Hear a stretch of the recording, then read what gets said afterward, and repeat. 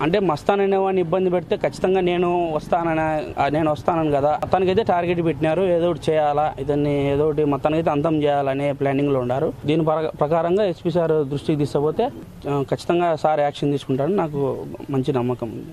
Why Vaikapa వాళ్ళే. అంటే ఎందుకైనా అంటే ఈ కేసులో ముఖ్యంగా నేను వాళ్ళకి యాంటీగా ఉండా కదా ఇప్పుడు ఇప్పుడు యాంటీగా ఉండా ప్లస్ దీనికి సాక్ష్యంగా నిలబడినా కాబట్టి నేను అనేవాడిని అంతమైతే ఈ సాక్ష్యమే లేకుండా ఉంటే కేసు ఏం చెల్లుతుంది అనే విధంగా వాళ్ళు ప్లాన్ చేసుకొని ఈ విధంగా చేస్తూ ఉంటారు.